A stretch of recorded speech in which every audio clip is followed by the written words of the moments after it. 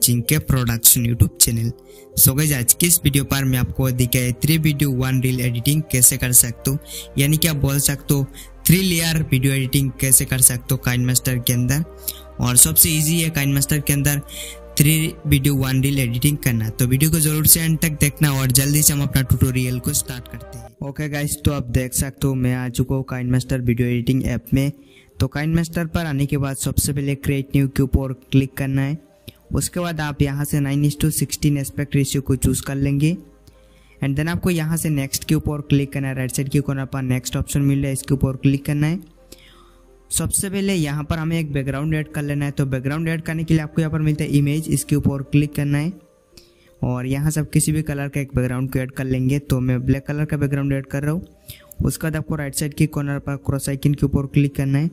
And इसका time duration आपको अपनी रिक्वायरमेंट के हिसाब से बड़ा कर लेना है। सो मैं लगभग यहाँ पर ट्वेंटी सेकंड के राउंड कर रहा हूँ। उसके बाद इसकी स्टार्टिंग पोजीशन पर आ जाना है। देन आपको यहाँ पर मिलता है लेयर ऑप्शन इसके ऊपर क्लिक करना है। और यहाँ से आपको सिंपली क्लिक करना है मीडिया ऑप्शन के ऊपर। एंड देन आपको क्या करना है? यहाँ से आपको अपना वीडियो ऐड करना है। तो मैं एक करके अपना तीनों वीडियो ऐड कर लेता हूँ। यहाँ से मैं अपना वीडियो सिलेक्ट करके ऐड करता हूँ। ठीक है? तो सबसे पहले मैं कुछ इस टाइप का एक वीडियो ऐड करूँगा, जो कि मैं आपको प्ले करके दिखा देता हूँ। आप देख सकते हो, इस वीडियो के अंदर बारिश हो रहा है तो मैं इसको ऐड कर लेता हूँ। सो उसके बाद इसे बड़ा कर लेना है इस तरीके से एंड बड़ा करके स्क्रीन पर आपको इसे फिट कर लेना है, ठीक है? उसके बाद इसको आपको ऊपर की साइड में लेकर जाना है लाइक दिस ठीक है? और थोड़ा सा बड़ा कर लेते हैं इसको। ओके आई थिंक इतना बड़ा सही है काफ़ी। उसके बाद आपको आ जाना है यहाँ पर लेयर ऑप्शन पर। लेयर पर आने के बाद देखिए आपको क्लिक करना है मीडिया ब्राउज़र पर। और यहाँ से आपको अपना सेकंड वीडियो ऐड कर लेना है। इसी वीडियो के रिलेटेड आप कुछ ऐड कर सकते हो। तो मैं यहाँ पर अपना सेकंड वीडियो को भी ऐड कर लेता हूँ और मैं देख लेता हूँ तो मैं इस वीडियो को ऐड करता हूँ, ठीक है? ये आप देख सकते हो, मैंने अपना सेकंड वीडियो भी ऐड कर लिया।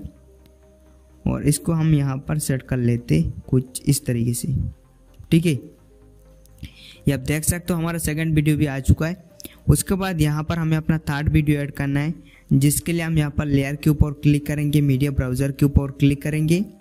और यहाँ से हम अपना थर्ड वीडियो भी ऐड कर लेंगे। सेम इसी प्रोसेस को फॉलो करके। तो मैं देख लेता हूँ मैं यहाँ पर थर्ड वीडियो कौन सा ऐड करूँ।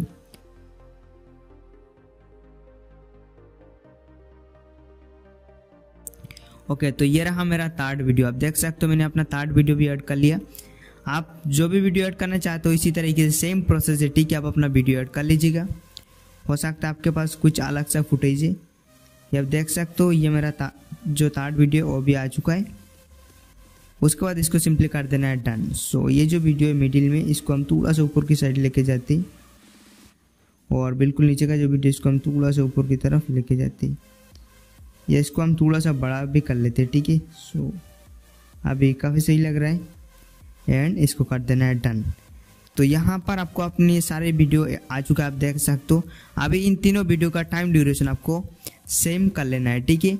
यानी कि सेम ड्यूरेशन का तीनों वीडियो कर लेना है। सो आप देख सकते हो हमारा एक वीडियो यहाँ पर एंड हो रहा है और किसी वीडियो का यहाँ पर एंड हो रहा है और यह हमारा जो स्टार्टिंग है, सबसे पहला वीडियो यहाँ पर एंड हो रहा है।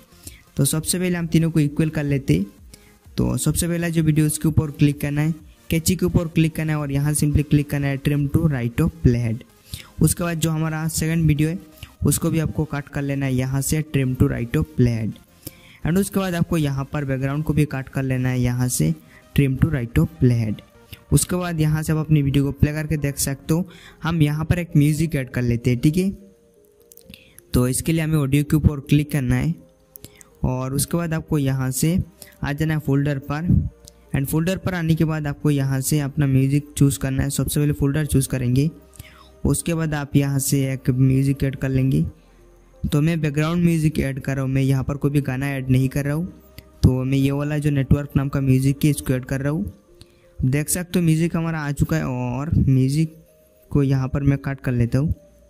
और इस म्यूज़िक का जो बेस्ट पार्ट में उसको यहाँ पर ऐड करूँगा, ठीक है?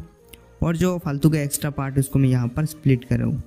तो यहाँ से हमारे म्यूज़िक का जो बेस्ट पार्ट है वो स्टार्ट हो रहा है। तो मैं इसको यहाँ पर काट किया और यहाँ पर इसको अगेन इसका राइट साइड काट कर लिया। सो ये आप देख सकते हो, आ चुका है। अभी अगर आप अपनी वीडियो को प्ले करेंगे तो यहाँ से आप प्ले कर सकते हो अपनी वीडियो को एंड आपको कुछ ऐसा रिज़ल्ट देखने के लिए मिलेगा। सो जस्ट मैंने आपको प्रोसेस दिखाया है कि इस तरीके से आप ट्रेंडिंग थ्रिल या रील वीडियो एडिटिंग कर सकते हो या three video one reel editing कर सकते हो काफ़ी आसानी से। सेम प्रोसेस को फॉलो करके आप इस तरीके किसी भी फुटेज एड करके किसी भी टाइप का वीडियो बना सकते हो। अभी बात करते हैं हमें इस वीडियो को सेव किस तरीके से करना है तो इसके लिए हमें ये जो एरो का ऑप्शन मिलता है, इसके ऊपर क्लिक करना है। यहाँ से हमें रेजोल्यूशन चूज़ कर लेना है टेन पी फ्रेम रेट यहाँ से हमें चूज़ कर लेना है थर्टी उसके बाद सेव एस वीडियो के ऊपर क्लिक करना है तो हमारा वीडियो हमारी गैलरी के अंदर सेव हो जाएगा। That's it for the video guys अगर आपको वीडियो अच्छा लगा है तो आप वीडियो को लाइक कर सकते हो, साथ ही साथ आप चैनल को सब्सक्राइब भी कर सकते हो।